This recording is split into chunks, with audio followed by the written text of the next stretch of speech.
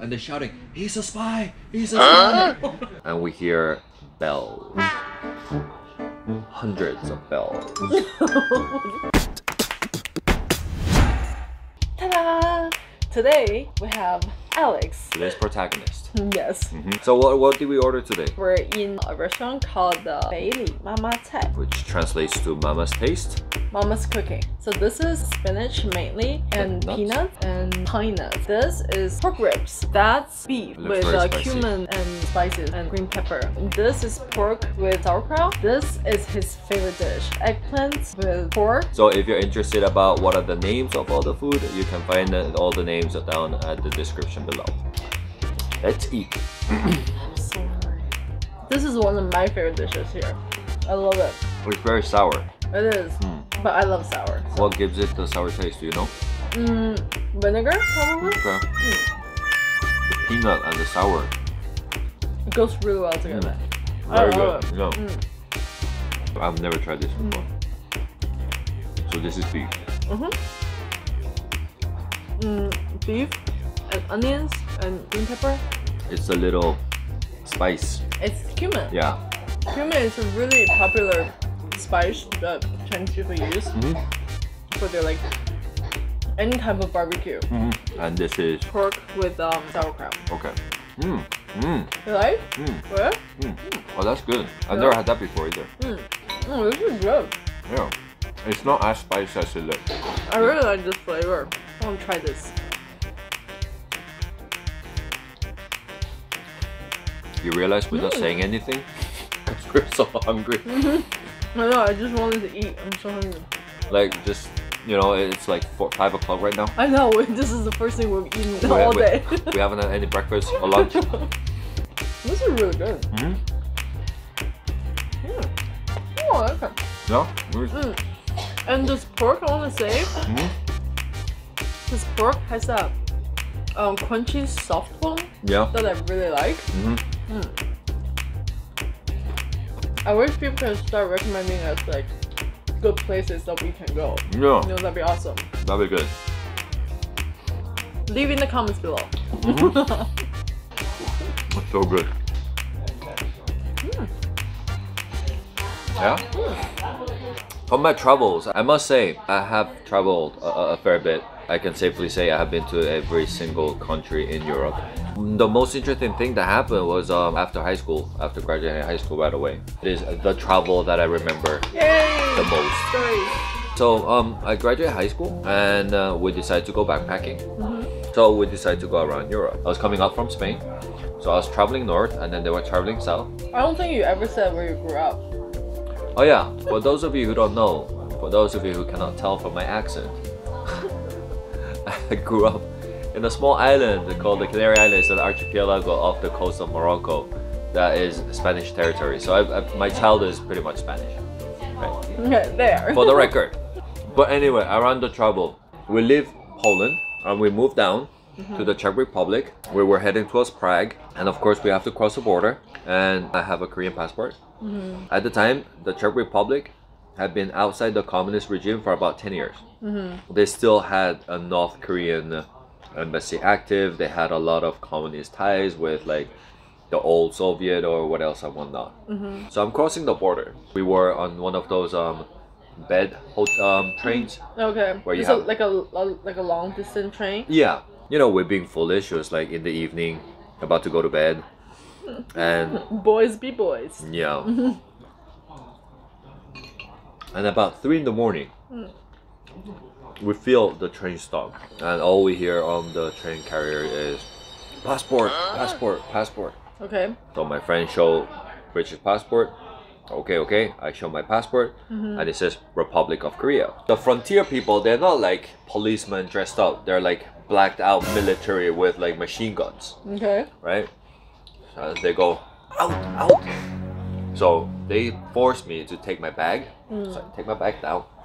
I carry it out, and I'm stepping out the train. This is three o'clock in the morning. Oh my Right. god. So it, it and ju- as I just experienced Auschwitz, right?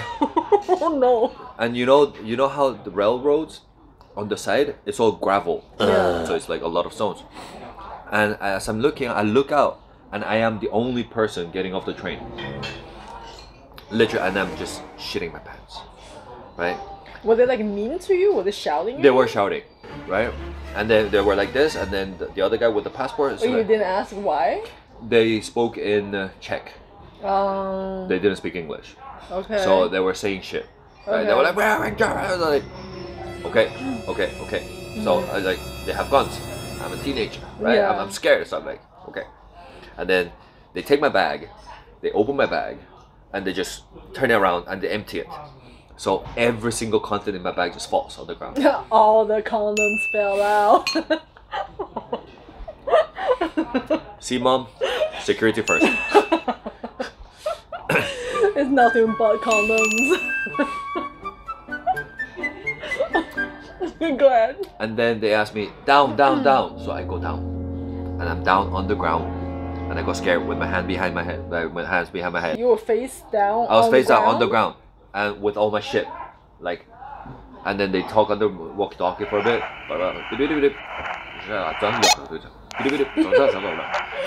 Right? I'm like, okay, okay. What, what accent was that? What was that? I don't know. I'm pretending to speak Czech. In the meantime, Mm.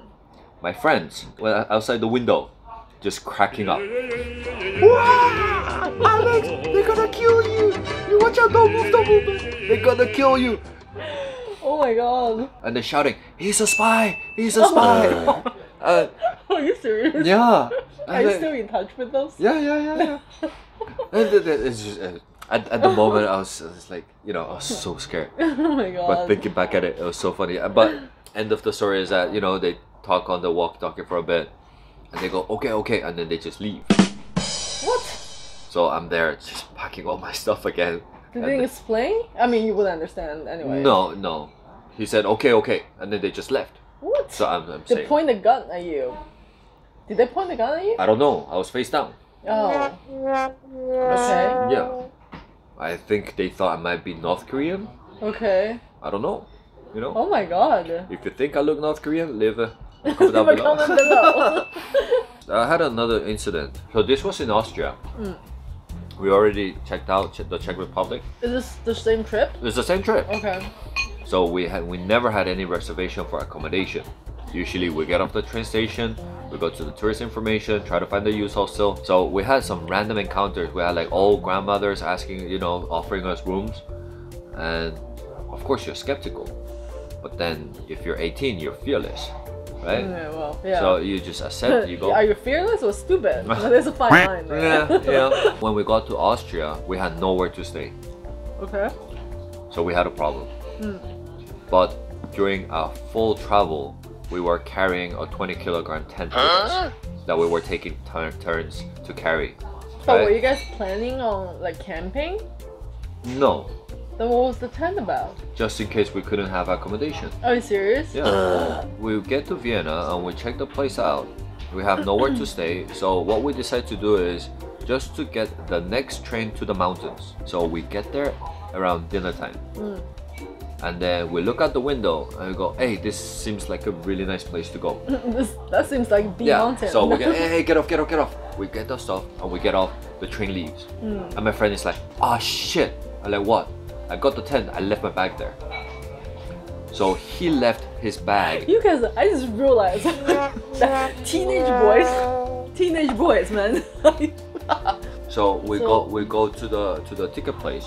And by the way, though, we were the only people that got off there, right? Because it was uh, it was like in the middle of nowhere, Wasn't- literally. Wasn't a very popular mountain. Yeah, I mean, you could hear the sound of music lady coming from the mountains, kind of in the middle of nowhere. So we get there and we say, hey, we left the bag there. Mm. They said the ticket number, they said the carriage, etc., etc. It says the train comes back at 11. We said, okay, cool. And it was about 5 o'clock. Okay.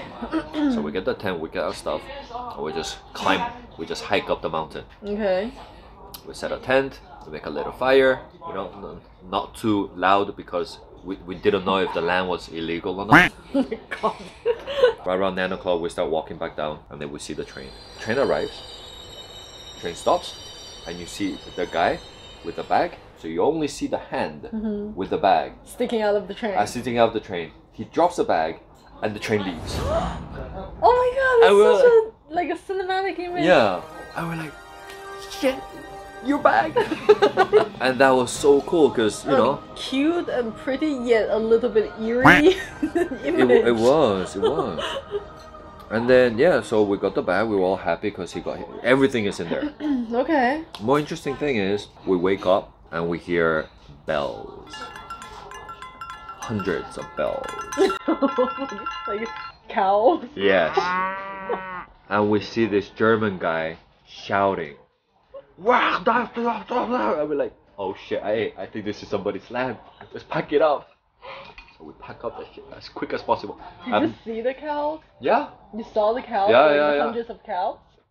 like right there, like where your eyes, like you know, right there. You did you didn't even have to force your eyes or anything. It was like very comfortably. You could you. see the hundreds of cows Like coming towards your tent. I'm like, hey, I think this is somebody's land. We've got to pack it up. I've never, I've never disassembled a tent that quick. But yeah, and then uh, we went back to continuing our troubles. Wow. Yeah. At 18? No, 19. 18. 18. Yeah. So stupid, but fun. stupid and fun sometimes goes well together. Yeah. They do. So next time we travel, we're not gonna take our phones with us. dun dun dun.